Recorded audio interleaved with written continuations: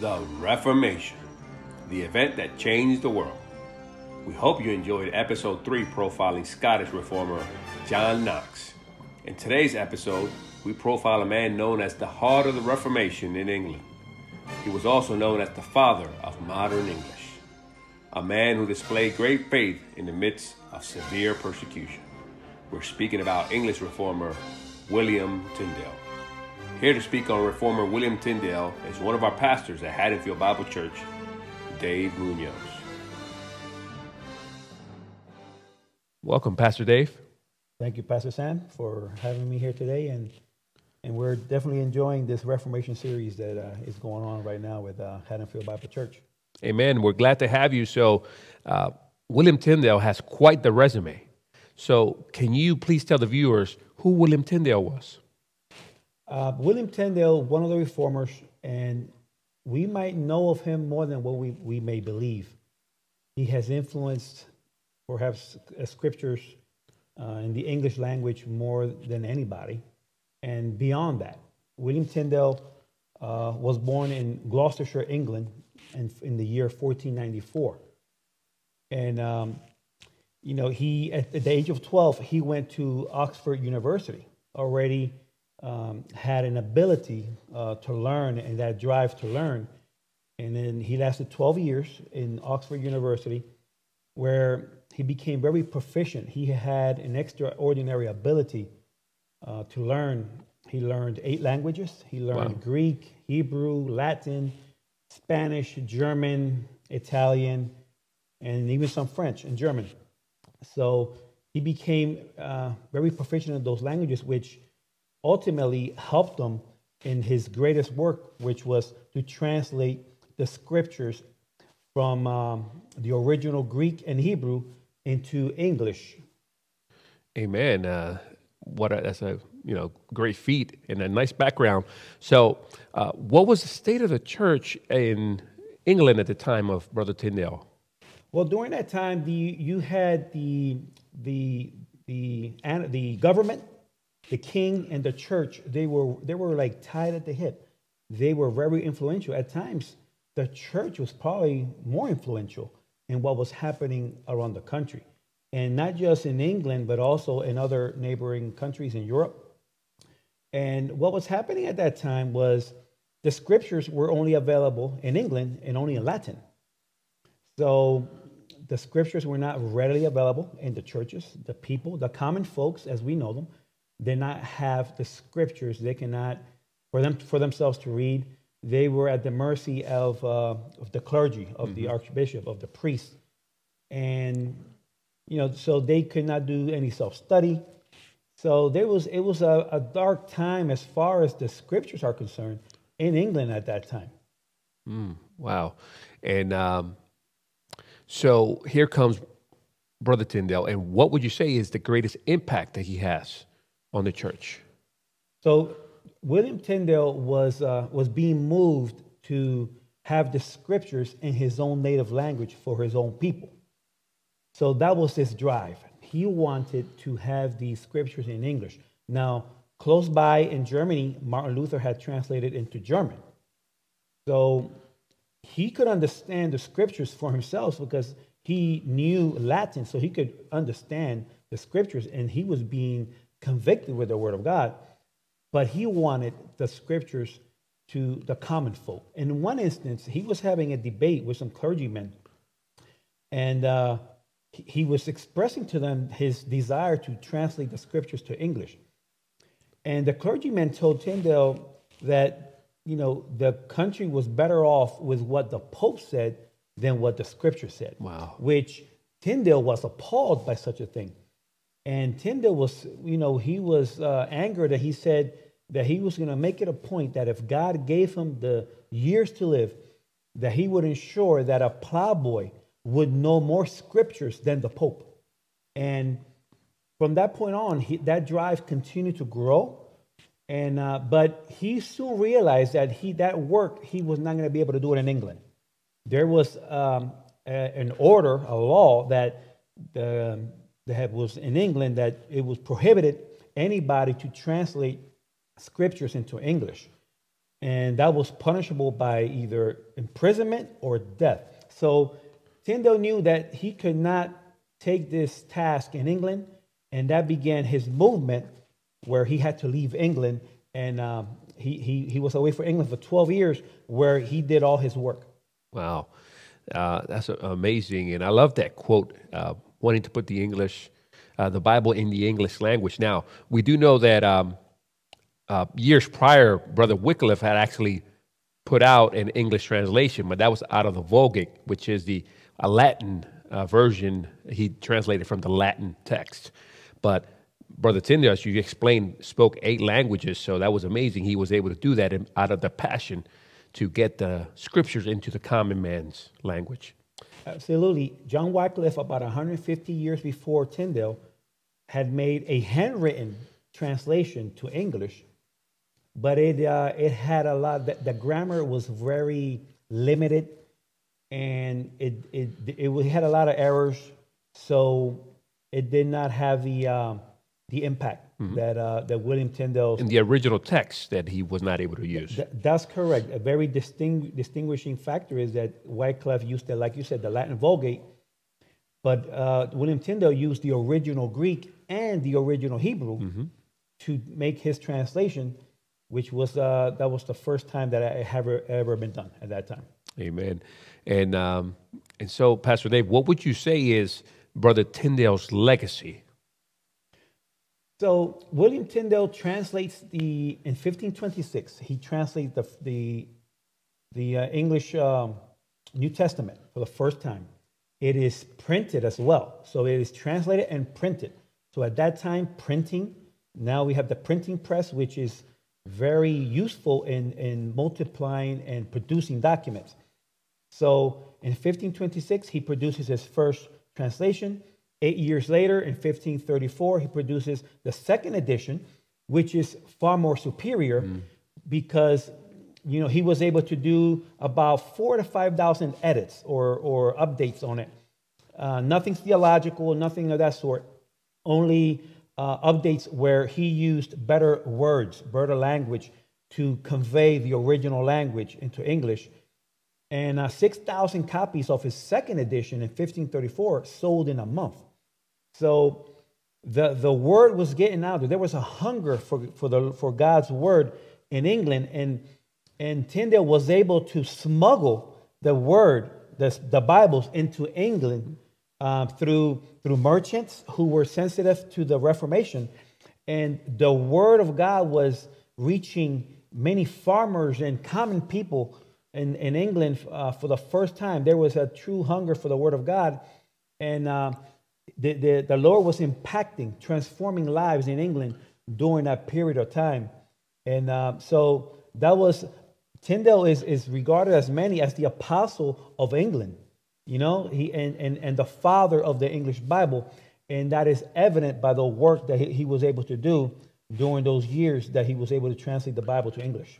Amen. And um, I, in my own uh, research, I found that he was even credited with being a father of modern English at large, enhancing the English language. So not only in scripture, but in education. And so, like, it's amazing to me because I hear in with a few other reformers, we hear of Calvin impacting the workmanship of the secular society in regards to doing everything to the glory of God. Swiss watches traces to Calvin. We see John Knox impact on what is known as formal education and here comes Tyndale and has an impact on the English language at large in the country of England and even affects us today. So when, when we hear in modern times where sometimes in the church you'll hear some folks, some churches say, well, the church needs to adjust to the culture.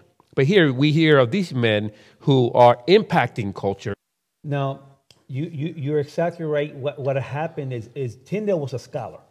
He was a very intellectual man. He knew languages, but he also knew the scriptures and he had a hunger for the word of God.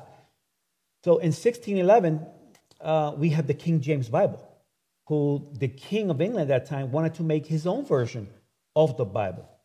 And he used the best scholars, the best scholars at that time to make that translation. Guess what the King of England used at that time? Almost 75% and sometimes and perhaps more of, of the William Tyndale's translation made it to the King James Bible. Look at that. It lets you know, it let the world know that what Tyndale put together, it lets you know how scholarly he was, how sound he was with the English language, that 75% of his words were used in the King James in 1611. So that's a testament to what, how proficient he was, and also of the reach. Remember that there was a law that prohibited this translation into English, but later on, we find we, we, we see that the Lord uses Tyndale and his mm-hmm. translation to, to for the King of England to use for his own translation. And not only that, there was another, another edict, another law by the King of England that allowed an English Bible to be at every church in England. And that was just a few years after the death of William Tyndale. So William Tyndale's reach has reached beyond uh, kingdoms and not just England. It has reached us today where everywhere in the world, where anybody reads an English Bible, we have to praise God and thank Him for the work of William Tyndale in, in, in, uh, in the, as a part of the Reformation. And beyond that, the, the, the Spanish languages that are used, they use the King James versions to translate into Spanish, mm-hmm. and the King James used William Tyndale. So the the the um, the there's a connection Tyndale, there. There's a connection between Tyndale and so many parts of the world in translation, and uh, we owe a great deal to the work of that man. So so it's a great segue to our final question, uh, because Tyndale didn't get to see or receive any credit at the time he did this, and in fact, they wanted to eradicate him. But uh, we see now his impact in what you had just shared that 75% of his work was used for the King James Bible. So the final question, Pastor Dave, is Does church history matter? Absolutely. When we look at the church history of the scriptures, and for us to, as believers, to, to look back at men such as William Tyndale and the sacrifice, he was under threat, right, to proclaim the gospel. You know, his crime was translating the scriptures into English. Think about that. Mm-hmm. That was his crime. And the church at that time were the ones that were, you know, behind him to imprison him and ultimately, you know, martyred him. So when we look at that church history, the, the faith that that man had to fear, to, to face death, to face threats, to give it all, to sacrifice it all knowingly for, for his hunger to have the words translated to English you know, and, and the impact that he had, not just in England, but in all of Europe, and even to us today here in the United States of America, and we look at that history, you know, we are, I, I am blessed and I'm encouraged. That's very important because it strengthens us. You know, if if he sacrificed it all under threats, you know, how about us today in, in America where we have everything at our at our disposal? You know, we have so much liberty to, to mm-hmm. do things. And we oftentimes we don't we don't even have a threat here in this country. But church history has shown us that there's been a lot of sacrifice, a lot of blood has been drawn, has been shed for the translation of the scriptures. So us today as men and women of the Lord, we want to continue that legacy, continue the legacy to unashamedly pro, uh, proclaim the gospel, to, to uphold the word of God on high, because that's what the reformers did. And, and that is what men and women uh, of the 15th century and beyond have done. So all we could do is be faithful to the Lord, be faithful to the to the scriptures, and keep proclaiming the gospel. Amen. Um, what a legacy is that? That's what we live for. As you're saying, in this country, we have so many freedoms, so many opportunities. What are we doing with those opportunities? And um, on an ending note, one of my favorite quotes of all time is Tyndale's, what has been quoted as saying in the time of his execution. So Tyndale finally gets arrested. You know, he got betrayed by uh, what he thought was a friend, a guy named Henry Phillips. He got betrayed by him. He gets arrested. He was uh, locked up for a year and a half in brutal conditions. And in jail, the one thing that he desired, that he wrote a letter, he desired to have, can you please bring me my Hebrew Bible, my Hebrew grammar, um, my Hebrew dictionary, because he wanted to continue his work, right? And that's above all, that's what he wanted. So he finally um, is, uh, after a year and a half, he is, uh, he is strangled to death. And, and before he is strangled to death, he says these words. He says, he cries out, Lord, open the King of England's eyes. You know, he didn't ask for nothing else. He didn't even ask for mercy for himself. You know, he just wanted the King of England's eyes to be open to the truth of Scripture, the truth of the Word. And, uh, and by God's mercy, just short time later, the King of England, by law, allowed English Bibles to be at every church in England. So the Lord answered his prayer. Mm-hmm. And, uh, you know, he didn't, he never recanted. He never apologized for any of his work, you know, and un, even under, under extreme uh, circumstances facing death, his prayer was to, you know, for others, for his countrymen, to, to, to hear the word, to get the word in their own language. Amen. Uh, what, what a powerful testimony. Only um, that can only come about by the work of Christ changing, transforming us all.